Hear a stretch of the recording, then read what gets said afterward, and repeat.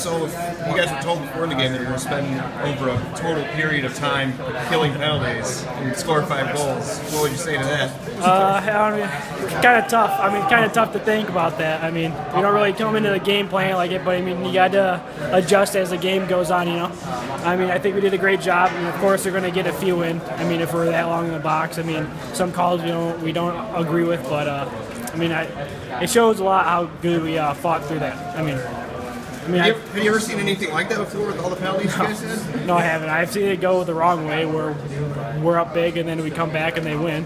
But I mean, I've never seen like a team block that many shots and uh, you know keep that lead. I mean, we really uh, we really came as a team. It's hard for 16, 17 year old kids to be, hey, go out there, take one off the shin, one off the, you know, off the stomach, off the face, whatever, you know, and they're out there doing it. So, Talk about- That could have really changed. I mean, you guys were up big. Absolutely. I mean, that, that could have changed. They scored twice, but it still really didn't seem to shift a little bit. yeah, I mean, we definitely, we could feel it on the bench, the momentum started to shift. We stopped skating at a point in the second where we're, you know, we were doing really good on the kill, and we were almost like, we got comfortable.